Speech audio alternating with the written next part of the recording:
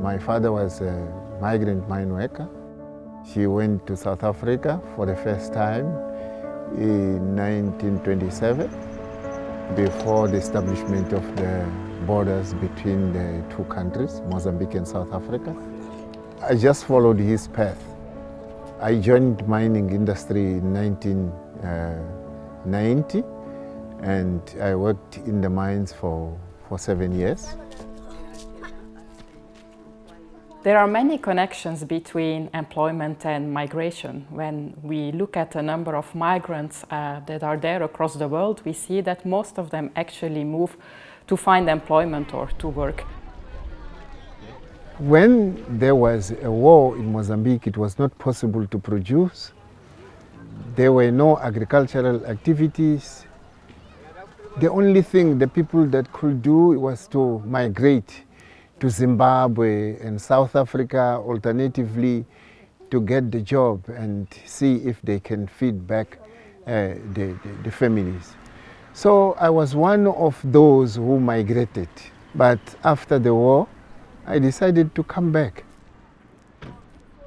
During the time I've been working in the mining industry, I came to realize that uh, as Mozambican migrant mine workers, we do not uh, have pension fund. We do not contribute legally for pension fund.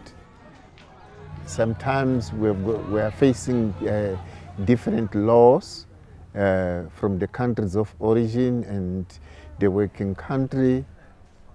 There is no proper channels to send back the monies that you are being deducted from the country where you are working.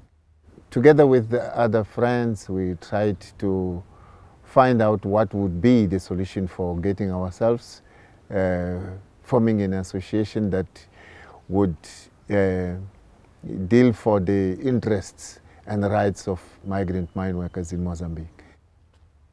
Voices from the Underground project really came about being pushed and promoted through the excellent work that was being done by Moises and his team uh, to promote and uh, really raise awareness of this challenge that was faced by Mozambican mine workers, which you know doesn't just impact individual mine workers, but has an enormous impact on their family and on the communities, both of origin and of destination. In the Voices from Underground, the main object was a capacity building and to bring the mine workers to understand their rights and where to go to claim for their social security benefits. Até onde eu sei, os, as, as associações dos mineiros servem como elo de ligação entre a entidade patronal e o governo e os próprios trabalhadores. Então, elas são muito importantes na difusão da informação.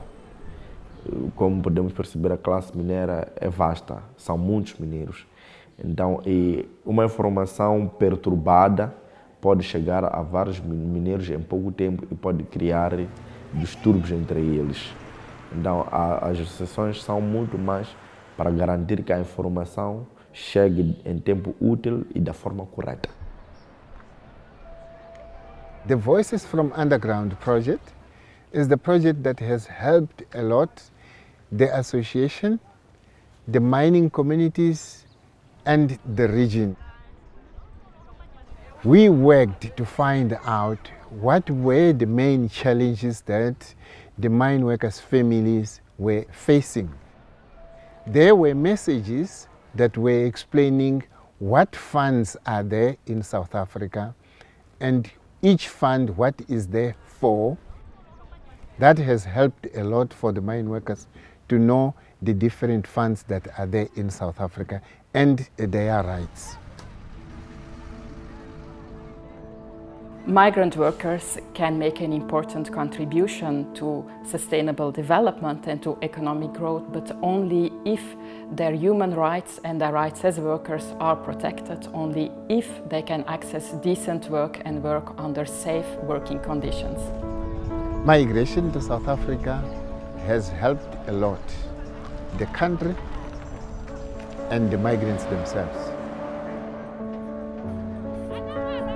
The mine workers manage to educate their children through their migration results. The remittances that are sent by the migrant are very significant in the GDP of the country.